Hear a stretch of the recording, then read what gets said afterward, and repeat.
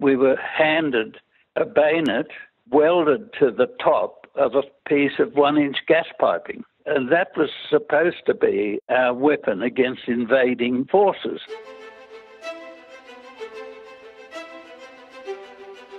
Welcome to the podcast where we track down Australian war veterans, have a chat with them, and hear their stories. I'm Alex Lloyd, and this is Life on the Line.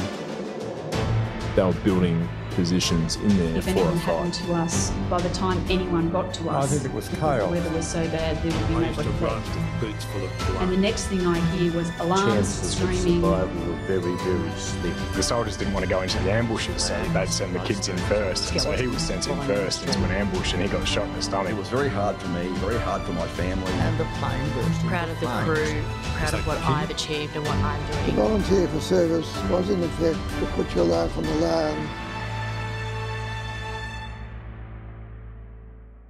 Today's conversation is between Angus Hordern and World War II veteran Doug Gilling.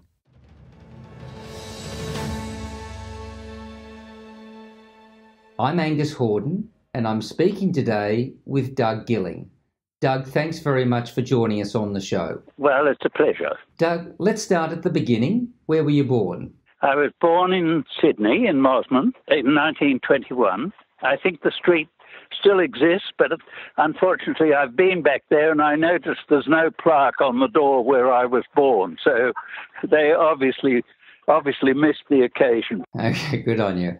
Do you have any military history in your family? Yes, my father was English and he came out to Australia in 1919 after the he was invalided out of his own regiment, which was the King's Own Regiment from Liverpool. And uh, he suffered in France, I don't know what injuries, but he finished up in a hospital in Edinburgh, uh, which was for officers who had been shell shocked. If you know a little bit about the First World War, uh, an officer was treated for shell shock, and the uh, private and below were uh, treated pretty abominably. They didn't get much treatment. But father got splendid treatment there, and uh, he'd practiced architecture in England before the war, and uh, that's before the Great War. And uh, then, when he was invalided out of the army at the end of 1916, he made moves to come to, first of all, to New Zealand,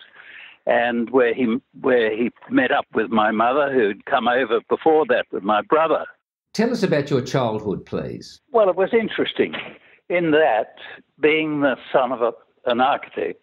In the 19, he, when my father came to Australia, he joined a much older English architect called Joseland, and they formed the, pe- the firm Joseland and Gilling, and they had a remarkable, successful practice through the 20s. My childhood was virtually that of a, a, a rich child, and a, a spoiled rich child. We lived in Vaucluse. We had a house in the mountains and uh, had all the trappings of wealth. And Doug, could you share with us your first exposure to military life, such as your time at cadets at school? I think the joining the cadets was optional in those days. And when I got to the big school, as it was called then, in 1935, I joined the the cadet outfit at that stage, and I was in it then from 1935 until 1939. I'd previously entered the prep school at, at um, fifth year, so I had two years in the prep school and then moved on to, to the big school. So I was in the cadets for four years that I was in the upper school. And Doug, how would you say that the time in the Knox Cadet Corps helped shape you for your service in military life later? Well, I think it was very important because to start with, we knew when I joined the, joined the Navy eventually, uh, the first thing that you do, of course, is march march around and do a lot of drill work, and they teach you the fundamentals of what a 303 rifle looks like. And of course, I knew all that because I'd had experience with it. Apart from that, I'd learned to shoot straight because we used to go to the range out at uh, Maroubra as a cadet. I knew how to drill and I knew how to march, and that was represented the first year, first weeks of your time in, in whatever service you happened to be in. So it was in, immensely important. It was important later to me, actually, as well, because when I joined the Navy, I got a, as a sailor. We went out to this rifle range again and were tested, and I got crossed rifles on on my uniform, which meant that I was a sharpshooter, and that was that was a direct result of being in the Navy. And when I eventually joined the ship, that was an influence as well because I was nominated to be the sharpshooter that so that if they saw any mines bobbing around, I was supposed to be able to shoot, uh, explode the mine from from the ship knocking off the spikes that stuck out of these big cylindrical mines. Uh, luckily, we didn't find any mines because I'm pretty sure I would have missed. I think, in fairness, Doug, and to our listeners, trying to appreciate if you're on a ship and it's going up and down and you're trying to fire with a 303 against a mine which could be you know hundreds of feet away from your ship and you're trying to hit to uh, yeah absolutely it, it, would be um, an incredibly difficult shot. But Doug, what brought you into the Navy? Because most of the Knox boys actually went into the Army. Well, one of my close friends at school was was a guy called Tony Carr, and I'd been sailing with him in his father's yacht. Not very much, but I've done a few uh, races with him because I was more interested in playing cricket than I was in, in sailing. But Tony became a paymaster at the anti submarine schools down in Rushcutters Bay. So he suggested uh, that I should first of all go for the anti submarine branch of the Navy, which I did. And, and I was lucky enough that Tony, being the, uh, a paymaster, or a petty officer, knew all the tricks that of the examination. So I was well primed, even if I had cheated, yeah. because I was feeling de- fairly desperate at, at that time. I'd, I'd, first of all tried to join the Air Force, but that but that wasn't possible. And then I tried to join the Army, and they said, "Well, we're not recruiting for the the next division to be recruited was is the eighth division, and we won't be recruiting for that for another month or two. And so I rather fell into the navy by default, as it were. And anyway, I came up for the examination down at Rushcutters Bay, and I was greeted by Lieutenant Commander Quince, which I don't oh, know if that yeah. name is anything to you. Yeah, he's a teacher at Knox. He was the uh, assistant headmaster at uh, the prep school at Ewan House. And after the usual greetings, he, uh, he then examined, examined me and said, Well, that's okay, you'll pass, but you won't be able to uh, come into the Navy until you're 20 because we don't accept, you can't be a, a fully qualified officer, sub lieutenant, until you're 20. So that that wasn't much use to me anyway, and I still had six months to go, I think, or at least six months before I was 20. So Tony Carr then suggested that I should join the yachtsman scheme, which I, of course, uh, there wasn't anything like. There was just the uh, just all you had to do was to have done a little bit of time in a small ship or a small boat. Actually, just before we leave Quince, Doug, I, have had it said that. Uh, by a number of the other old boys we've interviewed that uh, Quince was a real inspiration to the boys at school, and he'd actually served in Jutland, um, and therefore he was quite an authoritative figure um, on the boys at the time. And indeed, you're not the only boy from school that he met at Rushcutter, so uh, quite a lovely association. It was a lovely association, and the first of quite a few. I had another extraordinary event when eventually I was drafted to a ship. The yachtsman's theme was that you had to do your preliminary training, which, which was to learn about knots and splices and anchors and ropes and chains. And then you, having done that, that took six weeks. And then having done that, you joined a ship. Well, when I joined a ship, I was the in Portsmouth in 1941. It was in December, and in the murk, uh, coming down the gangway carrying a ha- his hammock and his kit bag was a guy that I was at school with in, in House, John Bottomley. Oh, really? And uh, I actually relieved him as the only Australian in the in the destroyer, and that was an extraordinary coincidence.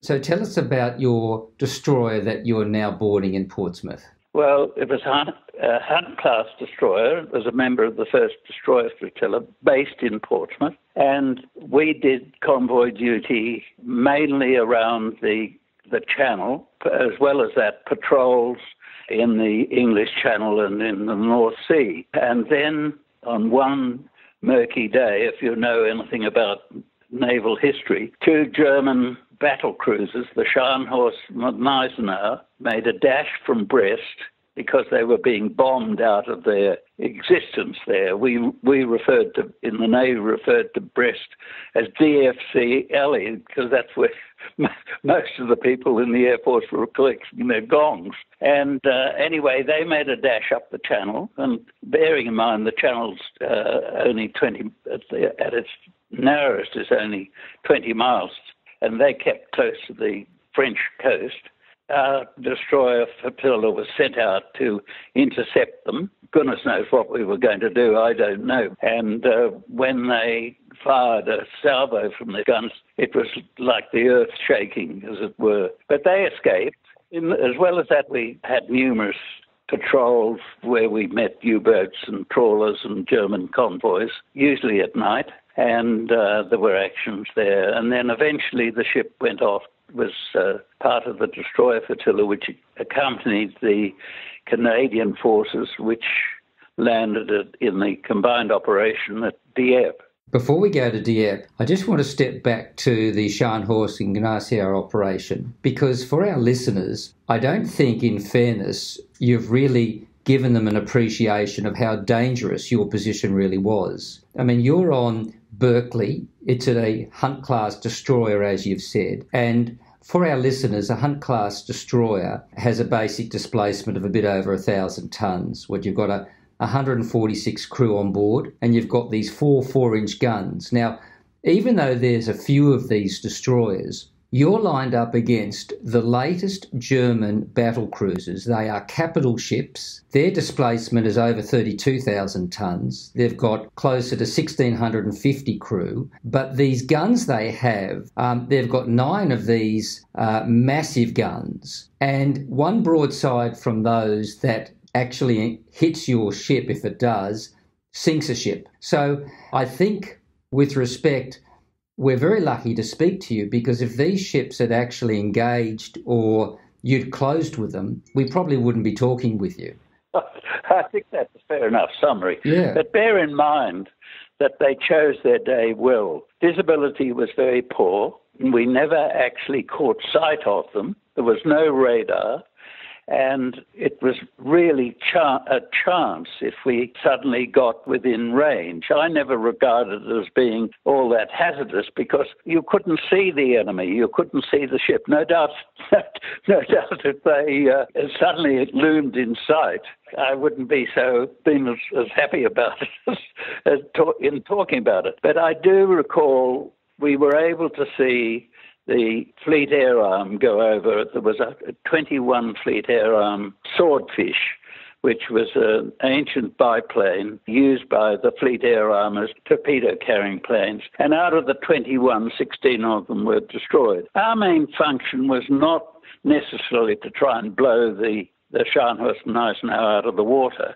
Our assumption was that they would have air cover, and we were essentially anti aircraft ships uh, armament, the four-inch guns were very effective against because they had such such a high elevation. They were effective against against aircraft, but we didn't see any German aircraft at all. So I, I can't build up the uh, I can't build up too much of a story about about that, except the extraordinary heroism of the people who flew those swordfish. They suffered uh, terrible damage they actually made one hit, I think, on uh, either one of them. I can't remember which one. And uh, but it didn't impede them. They were proceeding at 30 knots. Our maximum speed was 28. So that gives you a picture of the situation as far as we were concerned. And eventually, after three or four hours of going flat out trying to keep up with them and get to the point where we could be even effective in a small way, they escaped. It was one of the extraordinary events of the war. Our listeners shouldn't um, forget that the swordfish, of course, were so famous for their action against the Bismarck in crippling her. But uh, Doug, can um, we now move to the Dieppe operation? And can you tell us the role of the Berkeley in the um, Canadian attack at the French port of Dieppe? The geography of Portsmouth is that the harbour is a fairly secluded harbour and it's an, an, ideal sort of naval base, as it were. And uh, after you left the harbour, you went out to a place called Spithead, which was, in our terms, was out, uh, in Sydney terms, was outside the heads. And there in July 1942, after I'd been in the ship by this time by at least seven months or eight months, had risen to the exalted rank of quartermaster. and that had no danger attached to it. But we assembled in July, uh, the middle of July, with a whole lot of uh, troop landing ships, a very impressive display out in Spithead, and the rest of the flotilla. There were eight ships in our flotilla. We were there for two or three days, having previously ammunition ship, which meant that we'd taken on a lot more ammunition. So we didn't have an idea, we had no idea where, we, well, certainly as a sailor, we had no idea what was afoot, but it was obviously something was afoot. And after th- two or three days, we turned around and went back into harbour, and our uh, CO came on the loud hailer and said, Well, I can tell you now that we were going to mount a combined operation in Dieppe. Now, that was in July. We then went on a boiler clean for an, each watch, the port watch and the starboard watch, had 10 days leave. And we went on leave, and it, and it seemed inconceivable to me, although I didn't go join any pubs and, and blow off about how uh, how uh, how we were going to go on this raid to Dieppe. But it's inconceivable to me that out of the nearly 9,000 or 8,000 Canadian troops which were there, plus all the, the other uh, eight times 140 of, of uh, 1,000 near enough of sailors, plus a whole lot of landing craft as well, that in the month that took place between that time and the time we actually went, somebody didn't say, well, you know, after a few beers, we, uh, uh, we were off to the Dieppe to mount a raid. And then when we went back to the ship, which had broiler cleaned in Cardiff, came round to Portsmouth, uh, by this time it was um, early in August. I had my 21st birthday in the ship on August the 3rd, which is another story,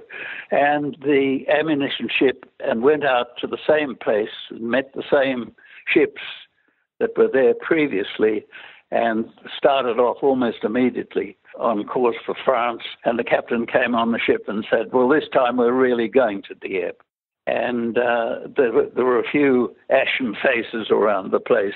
And it, it was borne out as well because I'm quite convinced, as, as a as a lowly sailor serving a four inch gun on one of the destroyers there, that at three or four o'clock in the morning when we got there, it seemed to me that all hell had broken loose and uh, that we were expected, and that the Germans were either by chance had reinforced the whole port or had prow warding and had brought people in to uh, defend it. And uh, our role was virtually to, as anti aircraft, again as anti aircraft vessels, bombard the shore over the heads of the soldiers that were landing on the beaches in about three different places, but on we were assigned to the main beach. And uh, we then carried out a bombardment. We were bombed about at least half a dozen times by uh, aircraft and uh, narrowly missed the ship. But as I, I said in one report that I, I made, that I uh, skipper would just sort of look up in the sky and see see these bombs falling, and then either say hard a port or hard a starboard, and they would fall harmlessly within 50, 60 yards of the vessel. And uh, he uh, he was very adept at that, but he wasn't adept enough to miss the final lot, which the ship during the withdrawal of the Canadians from the from the shore. The worst thing about it, from our, our point of view, from the ship's point of view, that possibly 40 or 50 Canadian, injured Canadian soldiers had been taken aboard and they used the wardroom of the ship as a medical centre uh, because we had a, a, standing ship, ship surgeon. And uh, the bomb fell just forward of the wardroom and completely wiped, it, wiped them out. That was one of the sad things. If you visualize a, soldier going into all hell on that beach, which was like a mini Gallipoli, really, as it's been written up, and uh, then being injured and then coming back and taken to a ship and then not surviving. But our ship was uh, in the.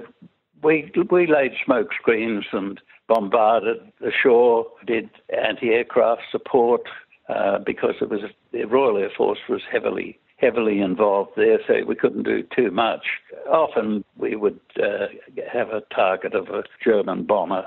And uh, during the withdrawal symptoms, which must have been, I suppose, you lose track of time. It must have been after we got there at about three o'clock in the morning, and it must have been around about 10 or 11 or early in the afternoon. We were withdrawing and uh, we were bombed by a uh, Dornier being chased by a Spitfire. And one theory was that it, it ditched its bombs to, to lighten the load so that it might get away from the Spitfire. But I don't know about that. I think it, I think the anyway, whatever whatever happens, the ship the ship was hit forward.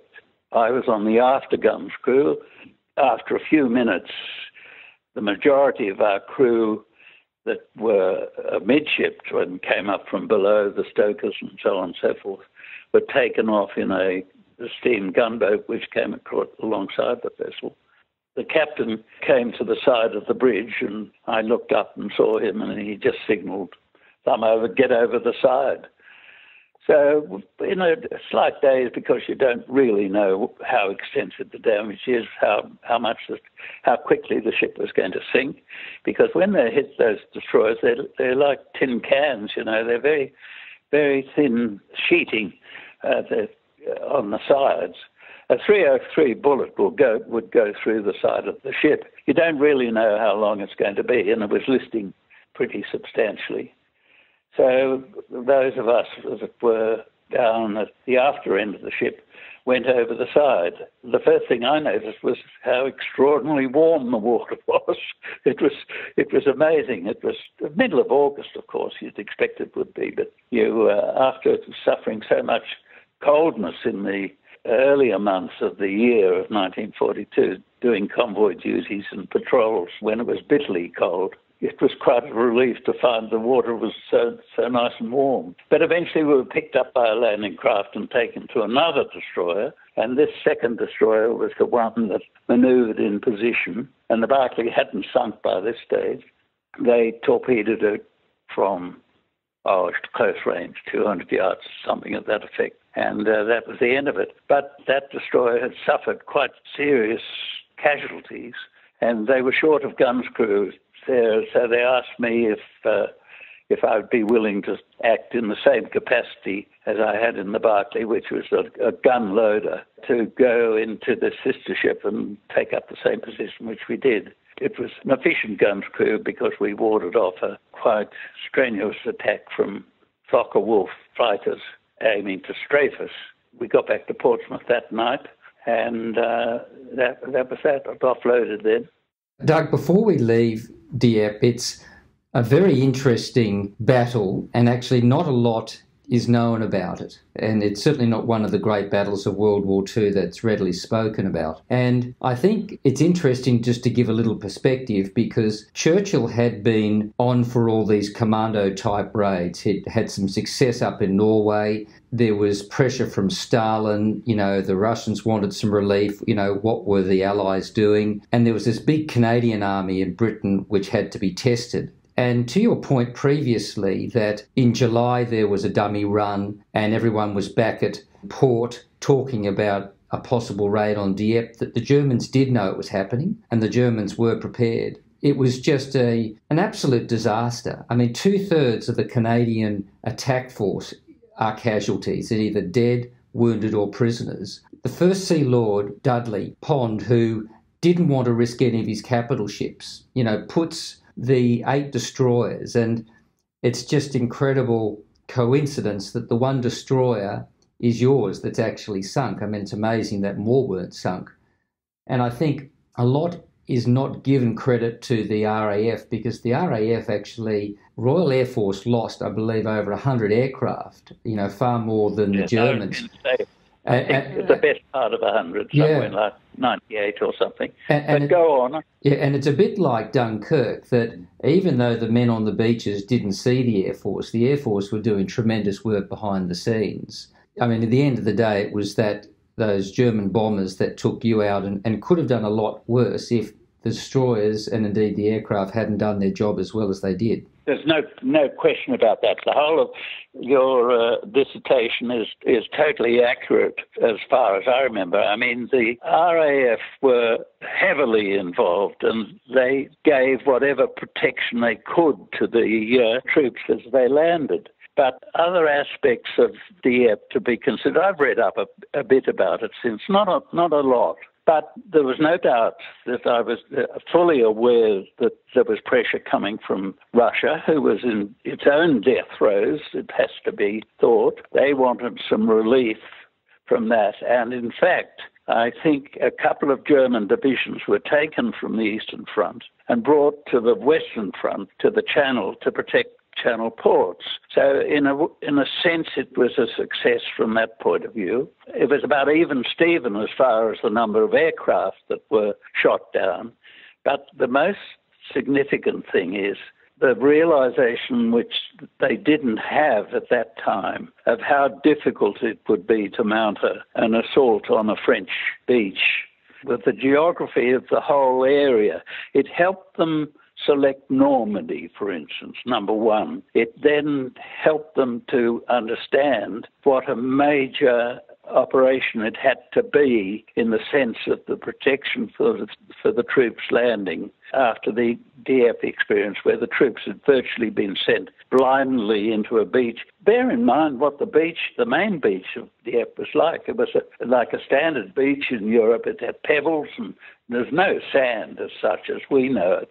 And then at the town itself was on higher ground behind, and there was a wall that had to be encountered. So the success of the army had to be relied heavily on being able to get tanks and armoured vehicles ashore. I don't think they were successful in, in respect of that at all. And it was a very valuable learning experience which the Canadians suffered. As far as the Canadians are concerned, and we were well aware of this when you visited pubs, they had been brought originally in great haste from Canada to back up the English forces against the expected invasion. And the troops had left Dunkirk and left all their equipment behind. when we were given guard duty around uh, HMS Collingwood in Fareham, we had to go guard duty around the uh, the precincts every night. We were handed a bayonet welded to the top of a piece of one-inch gas piping, and that was supposed to be our weapon against invading forces. I mean, that shows you how desperate, really, they were in England in order to try and catch up against an invasion, which was, by the time in 1941, which we were there, in fact, in retrospect, the danger had passed because of the success of the Battle of Britain. Dieppe was not a total failure, but of course it was a, a, a dreadful thing for the Canadians. There's no question about that.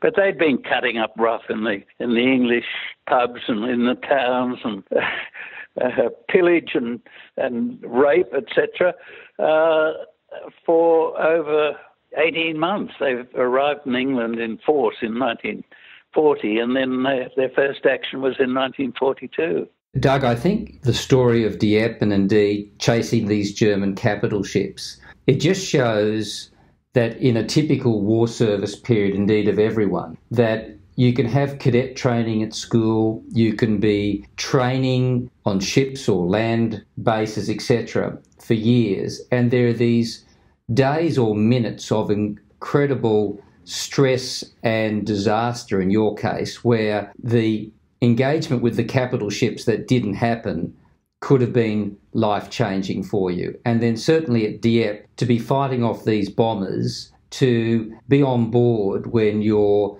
destroyer is hit, and luckily for you, as you say, being down aft rather than up forward, and just having the presence of mind to be able to escape overboard and and to get away from the ship. You don't know whether the ship is suddenly going to blow up or rapidly sink and suck you down with it. It is an amazing story. And look, the war goes on for you, but certainly they are two high points.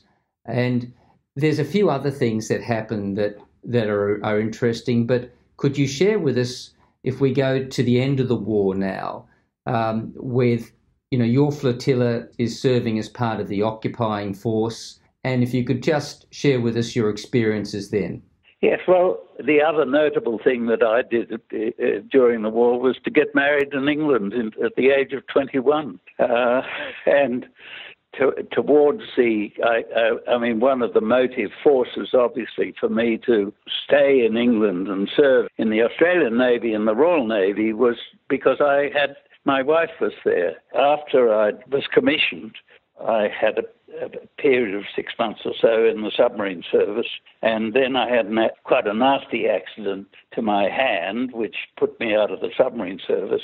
I then went into the small ships like MLs and MTBs and MGBs.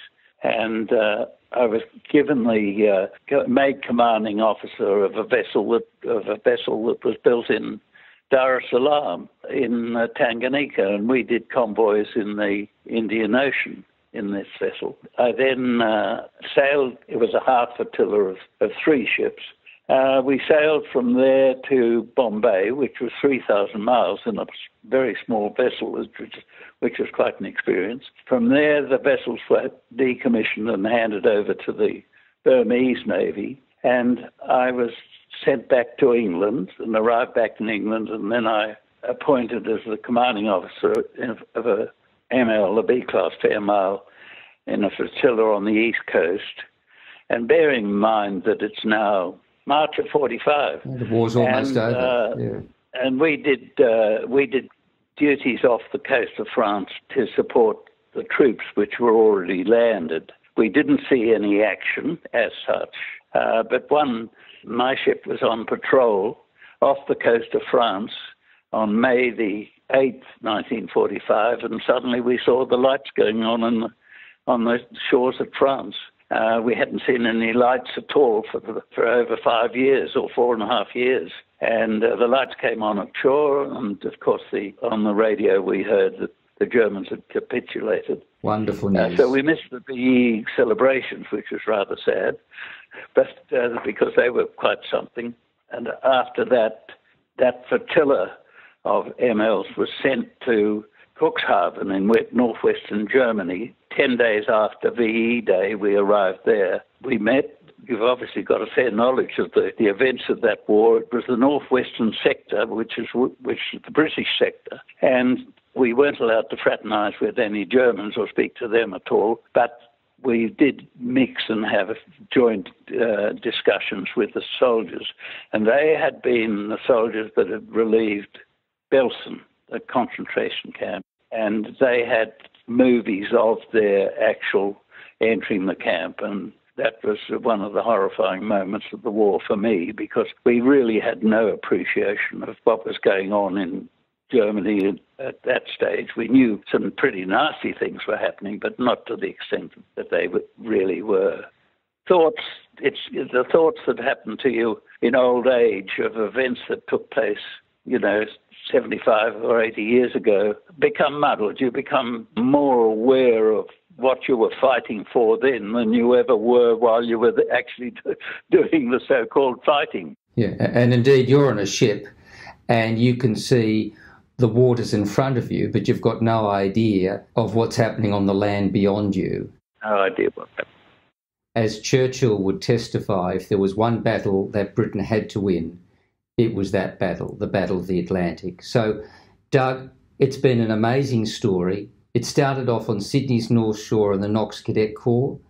You're in the water off Dieppe with German bombers all around you.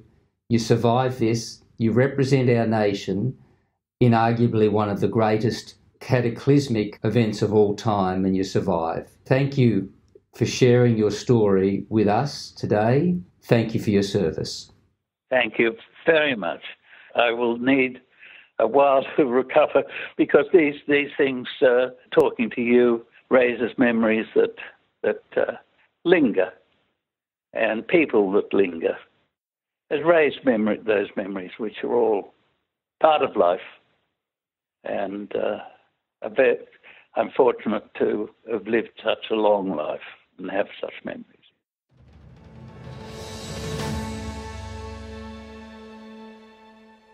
That was Angus Hordern speaking with Doug Gilling. If you like the episode, please post about it on our social media.